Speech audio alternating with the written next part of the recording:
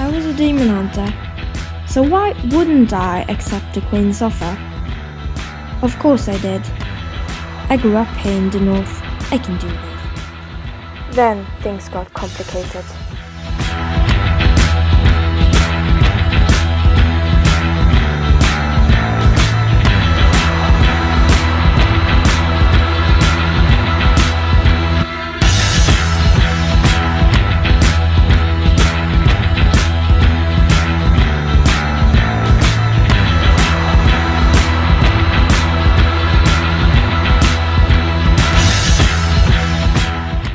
Everything was suddenly a lie, and I needed to find the truth.